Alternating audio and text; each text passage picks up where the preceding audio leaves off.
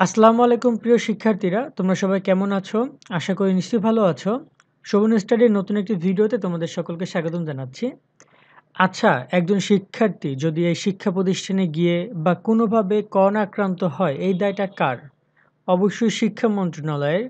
যদি শিক্ষা প্রতিষ্ঠানে গিয়ে সে আক্রান্ত হয়, সেক্ষেত্রে শিক্ষা প্রতিষ্ঠান থেকে তো কোনো দায় মেটানো হবে না। বাট শিক্ষা মন্ত্রণালয় থেকে তাদের জন্য কি আসলে আদৌ কোনো ব্যবস্থা কি রাখা হবে? কারণ তোমরা জানো যে গত বারোই সেপ্টেম্বর থেকে শিক্ষা প্রতিষ্ঠান খুলে দেওয়া হয়েছে। এই অবস্থায় অনেকেই করোনা আক্রান্ত হতেই পারে। ঠিক আছে, কিন্তু সেখানে শিক্ষা মন্ত্রণালয় কি তাদের জন্য কোনো ব্যবস্থা নিচ্ছে? সো আজকে আমরা এই বিষয়গুলো নিয়ে একটু আলোচনা করব। সো আশা করি সকল শিক্ষার্থীরা খুবই ভিডিওটা গুরুত্বপূর্ণ সবাই দেখবা। আর তোমাদের কি মতামত সেটা অবশ্যই কমেন্ট বক্সে জানাবা। আমি প্রথমে নিউজ দিয়ে শুরু করি। নিউজটি করেছে দৈনিক শিক্ষা। তারা লিখেছে যে কোনো শিক্ষার্থী করোনা আক্রান্ত হলে স্কুল কর্তৃপক্ষকে জানাতে হবে, মহাপরিচালক। মানে এখানে করোনা আক্রান্ত হলে স্কুল কর্তৃপক্ষকে জানাবে, স্কুল কর্তৃপক্ষ সেটা বোর্ডে জানানো হবে, বোর্ডে জানাতে বলেছে। নিউজে তারা কী বলেছে সেটা একটু দেখাই। এখানে তারা বলেছে যে কোনো শিক্ষার্থী বা তাদের পরিবারের কেউ করোনা ভাইরাসে আক্রান্ত হলে স্কুল কর্তৃপক্ষকে জানাতে নির্দেশনা দিয়েছে সরকার।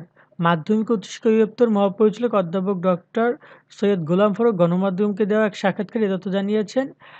তিনি বলেছেন যে করোনা সংক্রান্ত হলে শিক্ষার্থীর স্কুলে যাবে না, এছাড়া উপসর্গ দেখা দিলে বা শিক্ষার্থীদের পরিবার কেউ করোনা আক্রান্ত হলে বা উপসর্গ দেখা দিলে ওই শিক্ষার্থী স্কুলে যাবে না।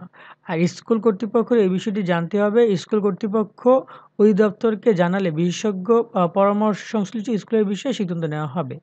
Okay, good. খুবই সুন্দর একটা বিষয়। তারা এখানে সবার স্বাস্থ্যবিধির কথা চিন্তা ভাবনা করছে যে কেউ আক্রান্ত হলে বা তার পরিবারের কোনো কেউ আক্রান্ত হলে তারা যেন কেউ স্কুলে না যায় বা কোনো লক্ষণ দিলে স্কুলের জন্য না যায় বা কলেজের জন্য না যায়। ওকে কিন্তু এখানে যদি একজন শিক্ষার্থী করোনা আক্রান্ত হয়, সেক্ষেত্রে সরকার তো এই দায়টা এড়িয়ে যেতে পারে না।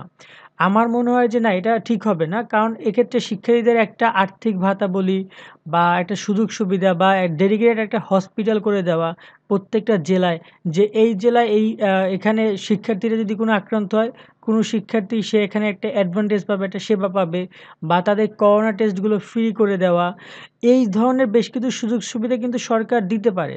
কারণ একজন শিক্ষার্থী কিন্তু দেশের ভবিষ্যৎ। তাদের ব্যাপারে যদি তারা এতটা উদাসীন হয় বা বাবা মা বা অভিভাবকের উপর রেখে দেয়, তাহলে কেমন দেখা যায়? আমি যদি একটু উদাহরণস্বরূপ বলি, বাংলাদেশের যত চিকিৎসক ছিল, যত নার্স ছিল, যত হসপিটাল কর্মকর্তা জড়িত ছিল, মেডিকেল অফিসার থেকে শুরু করে এ টু জেড সবাইকেই কিন্তু করোনা থেকে বাঁচতে বা করোনার সেবা, এই বিষয়গুলো কিন্তু ফ্রি ছিল। এবং তাদের বিভিন্ন ধরনের আর্থিক অনুদান থেকে শুরু করে অনেক ধরনের হেল্প করেছে সরকার।